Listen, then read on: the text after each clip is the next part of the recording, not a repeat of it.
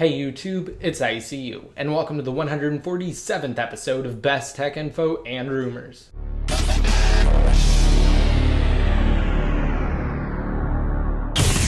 Alright, and to start off, I just wanted to say that we have a lot to talk about in this episode about jailbreaking, but first I wanted to go over an interesting report about the rumored lower cost iPhone. So earlier this week, following the recent rumors surrounding the possible lower cost iPhone, Mac Rumors posted several high quality renderings of the physical features that such a device may very well embody. Now, in addition to a lower cost iPhone with a silver or white backing, one of the images depicts several iPhones in yellow, red, and green. The renderings seem to closely match the measurements and proposed physical features that were outlined in earlier leaked design drawings. Moreover, these new images highlight the lower cost iPhone as somewhat of a hybrid between the current iPhone 5 and the fifth generation iPod Touch and in spite of the apparent all-metal look, the mockups were created based on recent information surrounding the device, including the fact that it will likely sport a plastic casing. Now, of course, they were created to provide a hopefully more realistic look at the iPhone's design, size, and shape and the iPhone pictured in the renderings is slightly thicker than the current iPhone 5, measuring at 8.5 millimeters thick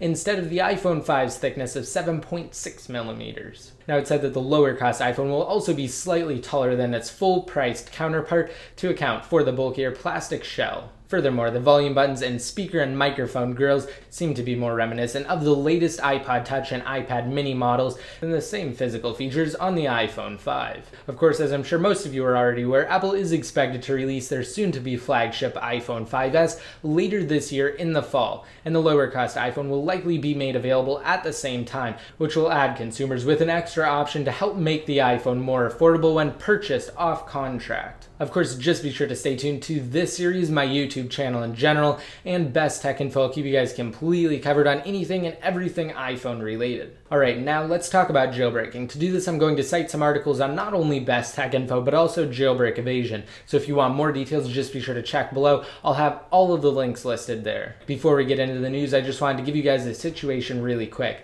So as of now, there currently isn't a jailbreak for iOS 6.1.3 or 6.1.4 in the case of those iPhone 5 owners who updated to that firmware. Unfortunately, as of now, newer devices can only jailbreak on iOS 6 through 6.1.2 using evasion. However, the iPhone 4, iPhone 3GS, and the fourth generation iPod Touch can jailbreak using RedSnow with what's known as a semi-tethered or a semi-untethered jailbreak. Again, new devices like the iPhone 5, the iPhone 4S, the iPad 2, the third generation iPad, the fourth generation iPad, the iPad mini, and the fifth generation iPod Touch unfortunately cannot jailbreak, and the developers are waiting until Apple releases iOS 7 to the public before issuing the next major jailbreak. All right, now that we have this situation out of the way, let's go over some of the news. So first, POSIX Ninja, former leader of the Chronic dev team, sent out a rather interesting and secretive tweet regarding the future. Now, although most of the news surrounding POSIX Ninja and the creation of the next major jailbreak utility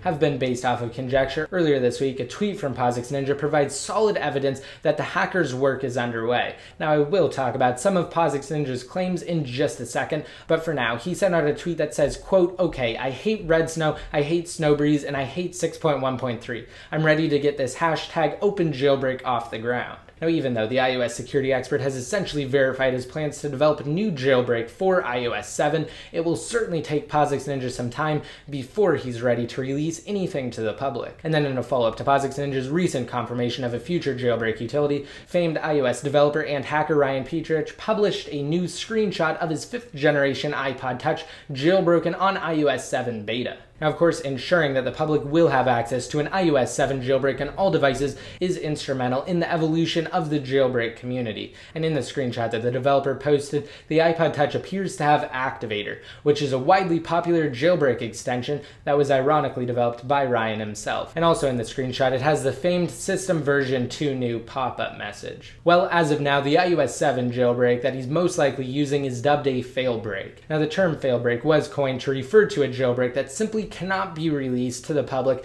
due to legal issues and the requirement of an Apple iOS developer account. Now, these two issues go hand in hand. And if he is indeed employing the use of a failbreak to gain root access and in turn jailbreak his iPod Touch on iOS 7, then he's likely doing so to test and modify the number of jailbreak tweaks he's created over the years. And even if the hacker is using a failbreak, it's possible that he could have also used new and unreleased exploits for further testing purposes. Now, kind of back to POSIX Ninja for a second. Months ago, the hacker suggested that he was in the process of creating a boot ROM based jailbreak, which is fundamentally different than a tool like Evasion in the sense that it utilizes and exploits a vulnerability that simply cannot be patched by Apple unless they release new hardware. And that's actually why the iPhone 4, iPhone 3GS, and the fourth generation iPod Touch can jailbreak right now on iOS 6.1.3 when no other device can. That's because now Red Snow relies on the Lime Rain exploit, which was first discovered by GeoHot in 2010.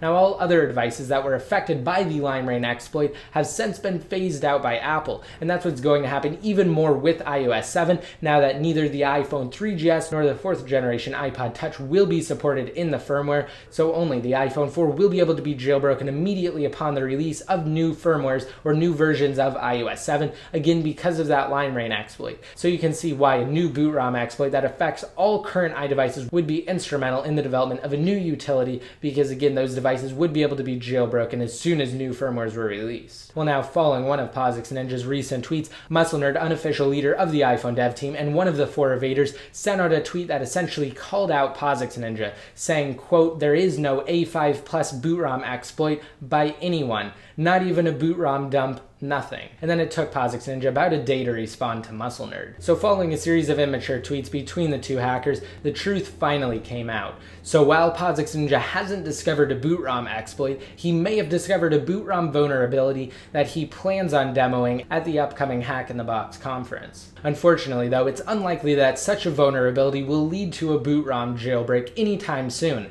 if ever. Now, after being lectured by MuscleNerd about misinforming his followers, and after posting an image of a conversation between POSIX Ninja and Comex, who is a once prominent Wonderkin solo iOS hacker that proves that POSIX Ninja doesn't have a boot ROM exploit, POSIX Ninja responded by saying, quote, I've only said I have big things coming, stuff which you know nothing about. So hopefully, if POSIX Ninja stays true to some of his claims, he will develop a jailbreak utility. However, the evaders have confirmed that they are working on something new, so if POSIX Ninja doesn't pull through, we definitely will be covered for iOS 7 in the jailbreak community. Now finally, in their last two tweets of interest, MuscleNerd conveyed that the public assumed that POSIX Ninja's quote bigger than jailbreak stuff was a boot ROM based exploit. And following that, POSIX Ninja once again confirmed that he has nothing of a boot ROM nature planned for the future. Now I know this is kind of a lot to take in, so to summarize, while there currently isn't a jailbreak available for iOS 6.1.3 or 6.1.4 for select iPhone 5 owners, the evaders, and possibly POSIX Ninja are planning to develop untethered jailbreak utilities in the future for iOS 7. So of course, as I've said before, I will keep you guys completely covered on everything jailbreak related here in this series on my YouTube channel in general and on Best Tech Info, so just be sure to stay tuned. Now finally, really quick, before I conclude this episode,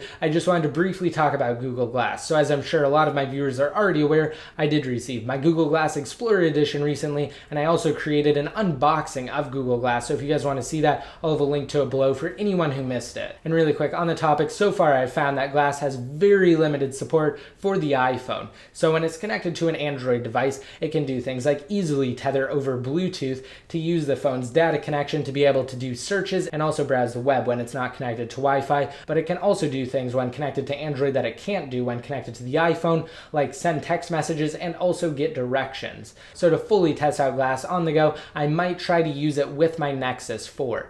Now my question to you guys is what videos you want me to make on Glass. So just be sure to leave any and all suggestions down below in the comment section. Don't forget, it's not too late to enter into my $100 and $50 Amazon gift cards giveaway. Just be sure to rate this video up and hit that subscribe button to be notified every time I release new videos and also leave a relevant comment down below in the comment section to gain an entry. If you don't know what to leave in the comment section, again, try answering the question of the day, which is what videos you guys think I should make on Google Glass. Just be sure to enter into the Amazon giveaway soon, as it will be concluding after this episode. Of course, to be updated more often, just be sure to like me on Facebook, follow me on Twitter, and add me in one of your circles inside of Google+. And until next time, this is ICU, signing out.